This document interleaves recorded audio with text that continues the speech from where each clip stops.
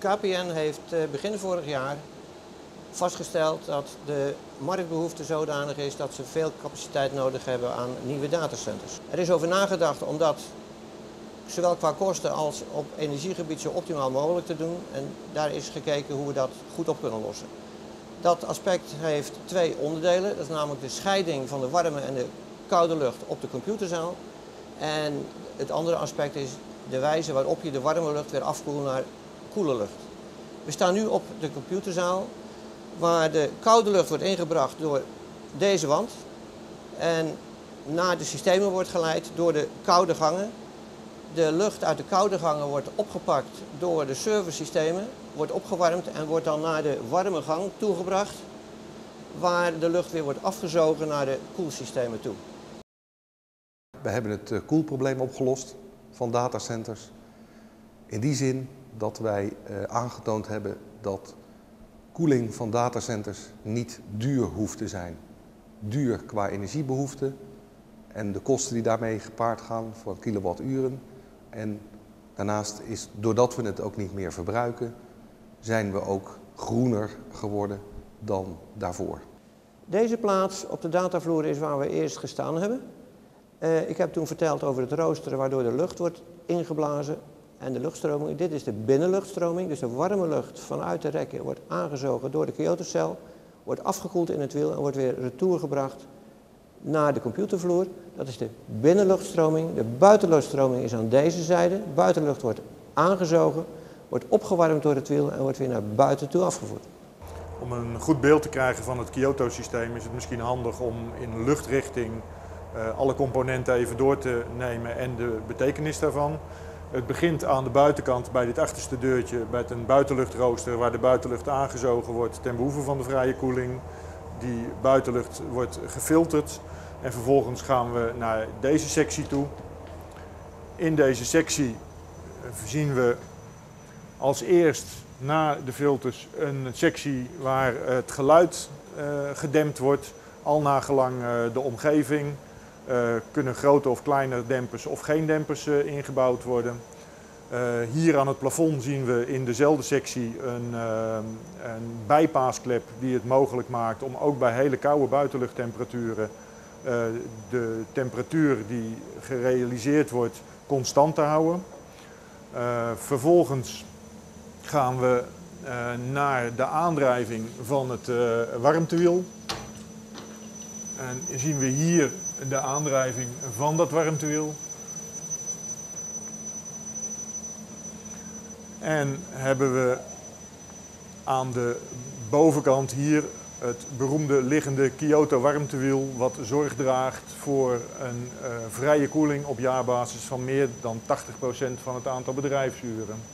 Hiernaast mij ziet u de koelmachine koelmachine zorgt ervoor dat gedurende de weinige uren op jaarbasis dat de buitenluchttemperatuur dusdanig hoog is dat er niet met vrije koeling gewerkt kan worden. Uh, er middels mechanische koeling een, uh, de gewenste ruimtetemperatuur toch gehandhaafd uh, kan blijven. Is gekozen voor vier koelmachines 150 kilowatt die verspreid in de Kyoto-cel opgesteld zijn. Gaan we nu naar boven waar we kunnen kijken naar wat er met de afgekoelde lucht gaat gebeuren. We zijn nu aangekomen aan de bovenzijde van het warmtewiel, wat we zojuist zagen. De lucht wordt door dit warmtewiel heen gezogen, uh, staat zijn koude af aan het wiel en wordt vervolgens door de ventilatoren die we hier aan de rechterkant zien uh, aangezogen. Hier zien we dan de frequentiegeregelde ventilatormotoren die de uh, ventilatoren aandrijven. Op die manier wordt traploos geregeld de hoeveelheid lucht die door het Kyoto warmtewiel aangezogen wordt. De aangezogen lucht wordt vervolgens door deze condensor heen uh, geblazen. Die zorgt ervoor dat er in de zomersituatie hier de warmte afgevoerd wordt. Daarachter bevindt zich nog een geluiddempersectie om eventuele geluidsoverlast naar de omgeving te voorkomen. En daarachter zit een buitenluchtrooster waarbij de opgewarmde buitenlucht weer afgestaan wordt naar de omgeving. Dat wat wij net gezien hebben was de buitenluchtkant van de installatie. Gaan we nu naar de serverkant van de installatie. Dan zien we uh, links uh, de ventilatoren die de opgewarmde lucht uit de serverruimte aanzuigen. en die vervolgens door het warmtewiel heen blazen naar de toevoerzijde van de serverruimte.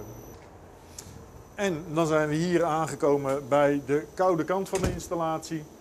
De afgekoelde uh, lucht die uit het warmtewiel komt, afgekoeld door de vrije koeling van de buitenlucht, komt hier naar beneden, gaat vervolgens naar de verdamperbatterij voor de hoogzomersituatie. De lucht aangekomen bij de verdamperbatterij kan in hoogzomersituatie eventueel middels de koelmachines die we gezien hebben afgekoeld worden. Vandaar gaat de lucht via een set geluiddempers naar de toevoer van de computerzaal. Een centrale besturingskast zorgt ervoor dat onder alle omstandigheden de juiste temperaturen gehandhaafd blijven en ook dat er zo min mogelijk energie gebruikt wordt om de serverzaal te koelen. Uh, het belang is uh, voor KPN, uiteraard KPN is een bedrijf wat omzet maakt en daar geld aan verdient, is dat uh, aan de ene kant de kosten van Kyoto-koeling ten opzichte van conventionele koeling vele malen lager zijn dan bij een conventionele installatie. Bijkomend voordeel, en misschien wel net zo belangrijk, is dat daardoor veel minder energie wordt verbruikt en dat daardoor dus veel minder CO2-emissie plaatsvindt. Hetgeen volledig past in het, in het wereldwijde streven naar verbetering van het milieu. Kyoto-koeling betekent dat de lamp uitgaat. dus het besparen van energie is uiteindelijk de beste manier is om de lamp uit te doen. En dat doen wij eigenlijk ten opzichte van uh, de huidige koelmethode, zetten wij bijna de lamp uit. Dus er zijn bijna geen kosten meer mee gemoeid. Dus dat betekent ook dat er geen uitstoot van CO2 plaatsvindt, dus je hoeft ook iets niet te compenseren. Nee, dus eigenlijk is dat de beste manier om ook doelstellingen te halen in het kader van het Kyoto-overdrag onder andere. Absoluut. En de aanvullende doelstellingen die de Nederlandse overheid en de Europese overheid heeft. Absoluut, uh, absoluut. Ja. absoluut. Dit is gewoon minder verbruiken ja. en hetzelfde willen doen.